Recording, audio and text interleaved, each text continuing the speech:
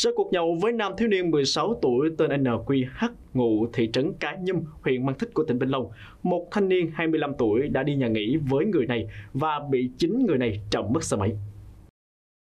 Theo đó, vào khoảng 22 giờ ngày 10 tháng 11, anh Lê Minh TH, 25 tuổi, ngụ xã Mỹ Thạnh Trung, huyện Tam Bình, điều khiển xe máy biển số 64E1 41449 trị giá trên 21 triệu đồng đi chơi hội chợ và nhậu tại chợ Cái Ngang thuộc xã Mỹ Lộc, huyện Tam Bình.